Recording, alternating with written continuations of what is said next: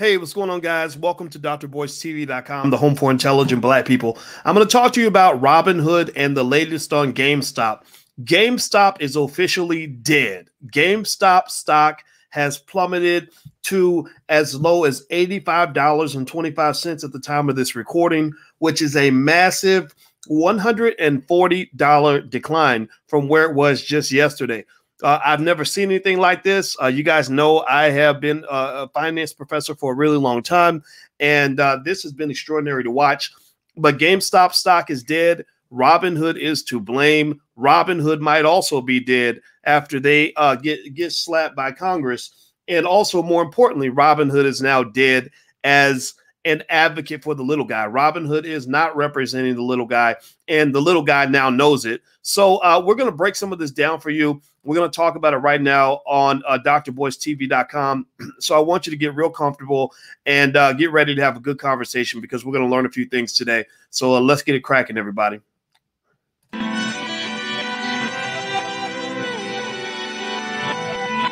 Here we are, clan the isms, cataclysm, great.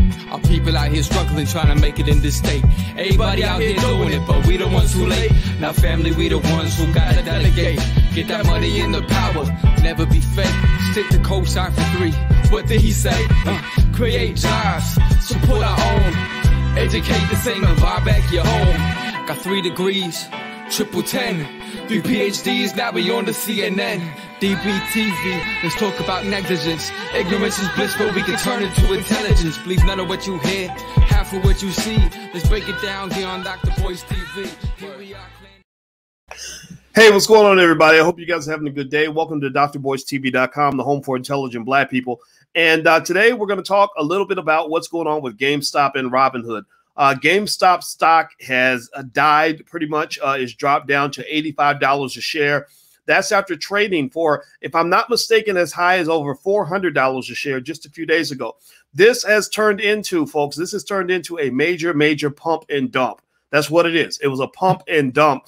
And uh, I don't know who did the pumping and who did the dumping, but I know there was a whole lot of hit it and quit it when it came to what happened with this money. So I'm going to break some of this down for you. You know, Dr. Boyce is going to help you out, and Uncle Boyce is here too. Uh, and we're going to kind of uh, sort of try to try to summarize this in terms of what's happened, where things are going, and uh, and and and how things are going to play out in the future. Uh, if you could do me a favor, please hit the thumbs up button, hit the share button, hit the subscribe button. I got to remind you guys that drboycetv.com, we are black first. Uh, so if you are black first and you put your, your community first, put a hashtag B1 in the chat, hashtag B1. So let's get it, let's get started here. All right. So uh, GameStop and Robinhood, uh, you know, th- this was uh, very interesting to watch.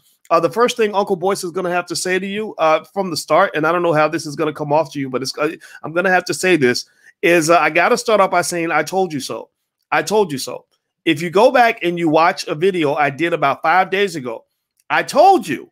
Didn't Uncle Boyce tell you that this was going to end badly? Give me a yes or no in the chat if you've been watching the videos in my videos long enough to know that I told you. I'm not. I'm not bragging. This ain't bragging. This is just me letting you know that maybe I might know a little bit about finance. I, you know, getting a PhD is hard. I, I told you this was not going to end well. I told you that this was not an investment. This was a trade, and it wasn't even a good trade. It was a crazy trade. Um, there's nothing in GameStop's fundamentals anywhere to tell you that this company's worth anything more than $20 a share. Maybe 25 if, if you really want to be nice. If you don't want to hurt their feelings, you might give them $25 a share. 85, 100, 150, 200, 250, 300. You're playing a real dangerous game at that point. You're playing a real dangerous game. You know, you you you you're telling Lizzo that she's as light as Beyonce. That that ain't that that's not true. That's just a lie. You can't live that lie. You can't live that lie. You know, you you're, you're literally the, the the the five foot kid from the hood who thinks he's gonna be the next LeBron James. You can't live that lie for too long. It ain't gonna work. It don't work. So so GameStop was destined to fall. I think that the question at that point, though, the question that I had was in this massive game, this multi-billion dollar game of musical chairs, and that's what it is. It was a big game of musical chairs to say who's gonna be standing when the music stops, because that person ain't gonna get a chair. And my question was not whether or not GameStop was going to plummet. I knew the plummet was coming, especially when I figured out that these these kids on Reddit, these guys on Reddit were not buying GameStop because they want to come in and become activist shareholders and make it into a better company. They weren't trying to buy and hold and and give the sh- shares to their grandchildren and keep them as a family heirloom. They were trying to make a quick buck. They were they were trying to jump in and jump out and have some fun. And ain't nothing wrong with having fun. Ain't no ain't no fun if the homies can't have none, right? I'm, it's okay with I'm okay with that. The problem is that that pretty much told me right then that this was going to become a pump and dump that there was going to be a point where they were going to get bored and the attention span on the internet is about 10 minutes. So I knew that the that that day was coming. Here's what here's the shocker though. Here's the part that got me. This is the part I, I couldn't predict. I had no idea that Robinhood was going to accelerate the pump and dump by restricting trade on GameStop in a way that I cannot understand. I cannot. I, I, I have I've read all the academic journals on finance. I've written you know, tons of research papers in, in various areas of finance. I know a lot about how markets work and everything else. And, and I can't explain for the life of me exactly why Robinhood chose to jump in and do what they did because you can't tell me I will put this on my late grandma, Grandma Felicia, who I love so much. I put it on my grandma that that that there's no valid justification for what they did. There's no valid justification. I don't know if there's even a precedent. I haven't seen anything like this. So when they and, and there's also no way you can convince me. Again, I put this also on my grandma. Sorry, grandma, I love you, but I got to I, you got to help me out on this. I put this also on my grandma that that that their decision to restrict trade is one of the factors that caused the stock to plummet. And, and and that, ladies and gentlemen, is when we go from the realm of of shady behavior to something where you're sitting here wondering if somebody's going to have to go to jail. At the very least, somebody's going to have to write some big checks. Lawsuits have been filed. These are valid lawsuits. These are valid lawsuits, black people. They, the, the suits being filed against Robinhood are quite valid in my view because most of these Reddit dudes, the you know, these surfer dudes on Reddit were all trading on Robinhood. So when you killed off the ability to buy the stock for all Robinhood investors, you pretty much gave that stock a death sentence. So I'm not so mad that about the fact that the stock plummeted back to, to normal. Eventually, Cinderella's carriage does turn into a pumpkin. Eventually, pump and dumps eventually lead to the dump. You start with the pump, and the dump is always coming, right? Eventually, uh, the Incredible Hulk always shrinks back down to the size of a regular man. You know that's going to happen, but they gave the Hulk a drug that made him shrink down much faster than he would have shrank down otherwise. And that's the part that was incredibly problematic. That's the part that makes them appear to be co-conspirators in the great heist of the 20, 21st century. The greatest economic heist of the 21st century took place in broad daylight. This was set it off 2.0 without Queen Latifah, without without Jada Pinkett. This was so this was some white boys on this version of set it off because when I tell you, when I tell you that that that the fix was in that there was a heist that took place right now that was what i was seeing. Let me explain. Let me explain. Do me a favor hit the thumbs up button. Please hit the thumbs up share and subscribe button. The reason that it was a heist is, is for this reason. I've told you guys a thousand times and, and, and, a lot of y'all listening so i'm not yelling at you. This is just this is just the old black man in me. Sometimes you just yell. I, I maybe your daddy yelled at you and stuff like that. It was, it was because he loved you. I hope it was maybe didn't love you, but I love you. So so here's the deal. The stock market tends to be a zero sum game. Trading is a zero sum situation. When two traders go at it and they're both making predictions on which direction the stock is going to go that day or that week, one might be a bull, one might be a bear. The bull believes the price is going to go up, the bear believes the price is going to go down. That is what we in finance refer to as information dispersion. That means that's what creates trade. It's like it's like the fact that in order to make a baby, you need a mommy and a daddy. You can't have two daddies and make a baby. You, you know, two mamas can try all they want, but they can't make a baby either because you need a mommy and a daddy. So in order for a trade to occur, you tend to on average, need a little bit of information dispersion, meaning that you need two people that have two different perspectives on the same asset. So the bull and the bear get together, and the bull and the bear make the trade. Well, one of them is going to be wrong and one of them is going to be right. They can't both be right. If they're if one is predicting the stock is going to go up today, the other one thinks it's going to go down. Well, the bull and the bear can't both be right. So at the end of the day, somebody wins. At the end of the day, you have what is pretty much what you might call a zero sum game. a zero sum game means that at the end of the day, either the bull is right or the bear is right. Well, if, if the bull is right, then the bull makes money. If the bear is right, then the bear makes money. Well, so so let me let me break this down with GameStop. Stop. Here's the deal with GameStop. The market valuation of GameStop right now, as of this recording, is about $6.7 billion. That is the value of the company. If you were to take all the shares outstanding, multiply by $85 a share, you would get $6.7 billion. Previously, GameStop hit a high of roughly $450 or 460 or something ridiculous like that. I don't remember exactly what the number was, but I know it was way too high. And so so basically in this amount of time since GameStop has hit his its high, about 15 to 17 billion dollars in wealth appeared to disappear. And I say appeared to disappear because it didn't really disappear. It didn't go away. It didn't go to an alternative universe. That market value that was in GameStop stop, GameStop stop. I can't I can't say that right. GameStop stock. There we go. That wealth that magically appeared in the pump and dump with GameStop stock, that wealth is in somebody's pocket. Like the Bulls and the Bears got together, the traders got together, and money exchanged hands. Some of it was originally lost by the billionaire hedge fund managers. We talked they talked about how the billionaire hedge fund managers lost a combined total of about 12 billion dollars or something crazy from the redditors. But remember, when that stock hit its peak, the reason it went to four something is because people were still buying at that point.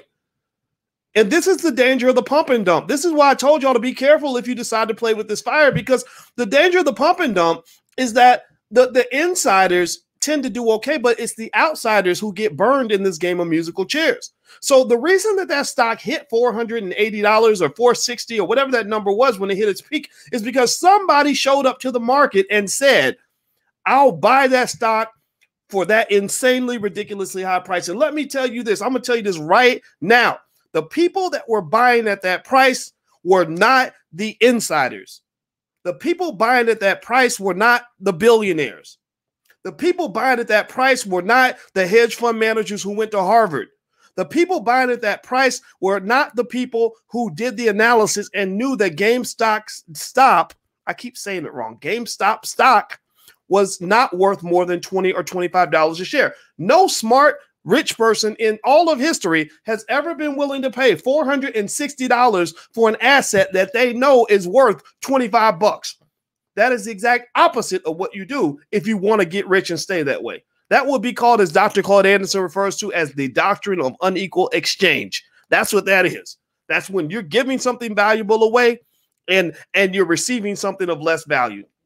So, so this is why Congress should be getting involved. This is why Congress needs to investigate the hell out of Robinhood. But here's the thing: your politicians are liars. They're corrupt, dirty liars who are owned by the corporations. So you have to take their investigation with a grain of salt. But the reason Congress should at least hold a hearing on this in Robinhood is because that $15 billion in wealth that appeared to disappear, that came out of the pockets of regular people. That came out of the pockets of you know maybe some 20 you know 25 year olds who around the country who who wanted to jump in on the Reddit rebellion and and start buying the stock because they kept thinking it's going to go up. That that came out of the pockets of the people who were fooled into believing the, the, the forums when they said that GameStop to a thousand, dude. GameStop's going to a thousand, but well, let me just tell you something part of that pump and dump, I bet I bet you every nickel in my bank account that a lot of those people leading that rebellion were selling their stock before that whole house burned down. They're not selling their shares at $85 a share. They probably got out about 299. When they started seeing which way the wind was blowing, that's when they exited the building. So the people who got burned up were the people who showed up late. Because in order for the price to have hit the peak that it hit earlier, somebody had to be buying at that price. And those are the people that securities laws are supposed to protect. They were not protected. This was a travesty. This was ridiculous. They were not protected. They protected they protected these investors about as well as they protected the Capitol building when all those uh, crazy toothless hill, hillbillies from Tennessee decided to go storm the Capitol that day. They, that they, about, about that same level of protection. And by the way, that whole situation it, that also looked like a situation where the fix was in. You telling me you spending a trillion dollars a year on your military and the Pentagon is right down the street, so you got trillion dollar soldiers around the corner, and somehow little old ladies are taking selfies inside the Capitol building. Well, that that that wasn't you didn't get invaded. That was you opened the door and you let them go in for whatever reason I don't know, but that was the fix was in. Come on now, I ain't stupid. So so they defended the investor the same at, a, at the same level that they defended that Capitol building the day all the toothless rednecks decided to break in and tell you that they wanted Donald Trump to be the president. Hit the thumbs up button. Please hit the thumbs up, share, and subscribe button if you haven't done it yet. Firstsharestock.com. That's a URL you can go to if you want to get free support on your investing endeavors from the Black Business School. Uh, you can sign up totally for free. I will make an offer to you to get 90% off on the mini class if that's what you want. But if you do not want that, just understand you can join for free. So go there. There's a free training there to get you started, and also more information I'll send you on how to become a better investor because I got you. I'll make sure that you know everything you need to know. Let's move on. Let's hit the thumbs up button. Please hit the thumbs up button. So so here's what here's what I want you to understand too. This is this is why the, the, the robbery took place in broad daylight. They did a heist in broad daylight because they did not give a damn what you think. They don't care. They they they do not care if they take a hit to their PR because because you're talking about billions of dollars on the line. When when you have billions of dollars on the line, people will do damn near anything to protect that kind of money. Think about it. Some of y'all from the hood, y'all know people that probably got killed over 200 bucks. How much how much killing do you think would happen if, if you had two billion dollars or five billion dollars at risk?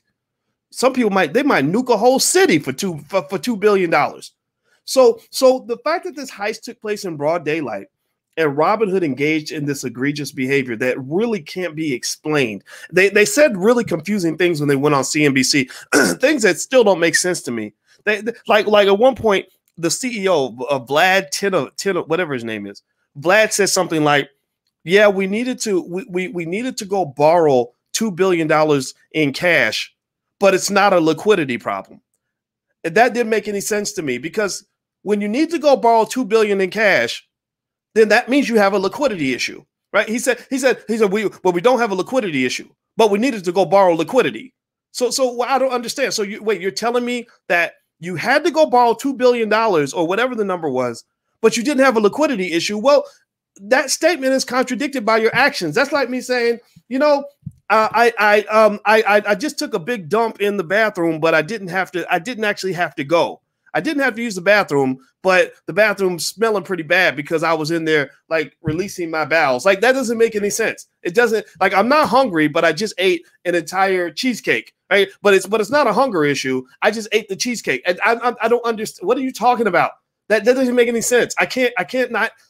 I, I'm not smart enough apparently to understand how needing two billion dollars or whatever that number was and then restricting trading because you don't have the capital necessary to do what you got to do and the liquidity necessary to follow through on the trades is not a liquidity issue. It sounds like it was, wasn't just a liquidity issue. It sounded like it was a very severe liquidity issue. And it sounded like it was a very unique liquidity issue because I didn't hear Fidelity saying, well, we shut down all the trades on this stock because, well, I didn't hear E Trade on, on CNBC saying, well, we just decided that we wanted to just stop people from trade. I've never heard them say these things. I'm not saying this this can't happen. I'm saying I haven't heard this from them. So that tells me that you've got a liquidity issue and you've got a stability issue and you might have a corruption issue. You have a corruption issue. You certainly have a conflict of interest when Citadel pays your bills, and Citadel also loaned money to Melvin Capital, the company that benefited the most from your seemingly problematic and corrupt activities. So, so, but we've talked about that. We broke all that down. So, if you want to hear about the Citadel, uh, the Citadel Melvin Capital relationship, you can go watch another video on that. I uh, go to uh, make sure you subscribe and just check out some of the other videos because I've been talking about this all week because this is just unbelievable. Like this whole situation is something that really, really, um, I think serves just as an excellent case in point to understand how the game is set up. If you want to ask me, some of you ask me, do I think that the game is rigged? The answer is absolutely yes. The game is rigged. But does does that mean that you shouldn't participate in the game? No. I'm not saying you shouldn't participate in the game because there's money that can be made. The key idea is not so much to worry about whether or not the game is rigged because life ain't fair. You know, my daddy told me that when I was young, so maybe that's why I got lucky. I don't know, but I never went went into life expecting life to be fair. So is the game rigged? It's absolutely rigged. But if you find out the game is rigged, that's how you that's when you go find out. Well, what are the rules and who, which direction is it rigged in? Because people who are smart about making money know how to figure out which way the wind is blowing and which way the game is rigged, so they can get on the side that's going to rig in their favor. So the game being rigged should not keep you out of the game. It should just make sure that you stay hip to the game so you understand what's going on. So so let me let me kind of just finish this up. Alicia told me it's time for dinner, so I got to get up out of here. Uh, when a black woman speaks, I listen. So she told me the dinner's up there, and she's she, she made some lasagna. She said it's a good batch, so I'm about to go get this lasagna. Here's the deal.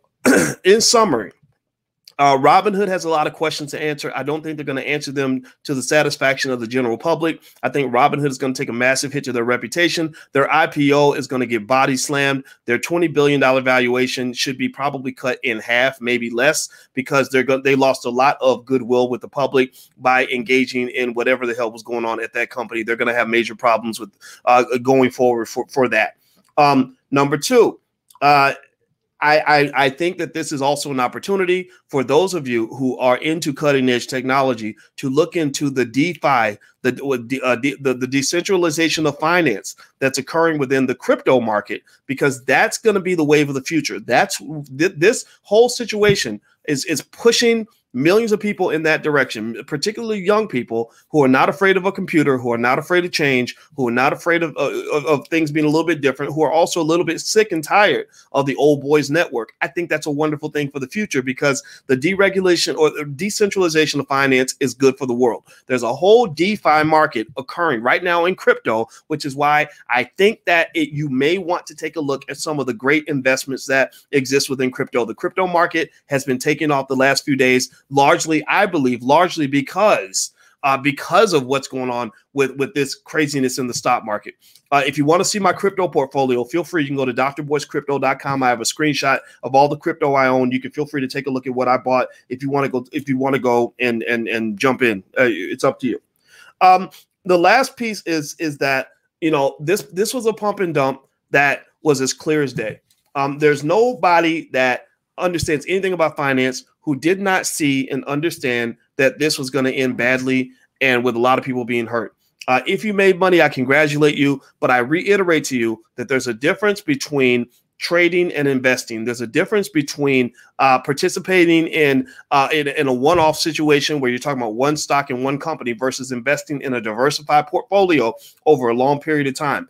The first method is very similar to gambling. The second method is how you build family wealth and you build a legacy that's going to last long after you're gone. So after this is over, just dust off, move forward, invest the right way. And then if you want to jump in and have some fun, do it. But make sure you you don't mistake that participation in this Reddit chaos um, with with actual investing. That's very different things. So so I hope that we get each other. I hope we understand each other.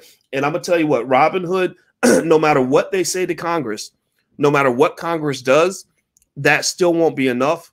Because believe me, for every little thing they tell you, there's a hundred things happening that they'll never tell you. And also never forget that your politicians are in bed with the corporations. So whatever punishment and penalty they come up with in this situation, it'll probably be a slap on the wrist. So so moving in the direction of DeFi or de- the decentralization of finance is good for the world because what you need here is you need more transparency. The reason Robinhood did this shady stuff, this weird stuff, and then came out with an explanation that didn't add up and didn't make sense, and then tried to even use Elon Musk to try to get credibility behind their stupid, shady response that even Elon probably saw through, is the reason they did all that is because there's not enough transparency. There needs to be transparency, and that's the direction that we're going to have to go if we're going to make this country better for everybody. So don't be scared. Um, I'll break it down for you. Uh, I wish you the best, and God bless you. Keep investing. Hit the thumbs up button, hit the share button, hit the subscribe button on your way out the door. And uh, also uh, make sure, you feel free, like I said, you can go to drboycecrypto.com if you want to see my crypto portfolio. And also subscribe to financialjuneteenth.tv.com. That's a YouTube channel where we break down financial analysis from a black perspective every single day of the week. So God bless you. Have a good night. I'll see you soon. Peace.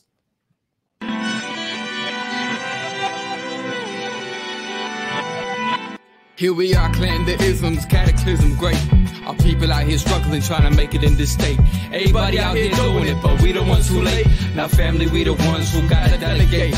Get that money in the power, never be fake. Stick to cosign for three.